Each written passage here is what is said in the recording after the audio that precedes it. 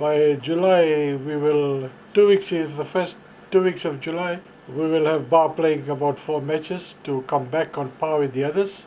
And on the 18th and 19th, and the following week, we'll have four full rounds of matches.